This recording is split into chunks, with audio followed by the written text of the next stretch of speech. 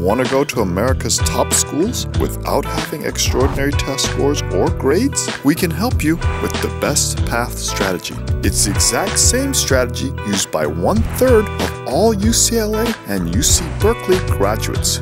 Our method requires no SAT scores, no high grades, and a very average TOEFL. If you can do this, we can put you on the best path to success. It's straightforward, inexpensive, and it works.